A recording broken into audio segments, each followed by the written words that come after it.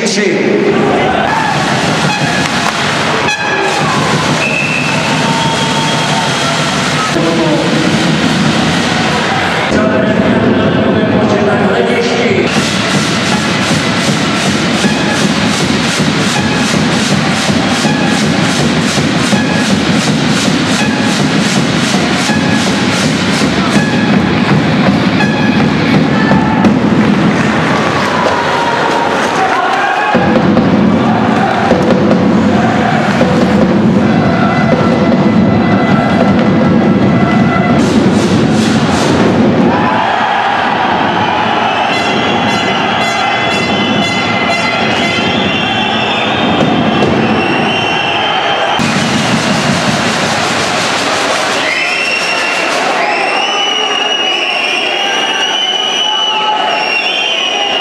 Utkání skončilo vítězstvím domácího Trutnova a je prvním mužstvem ve finále.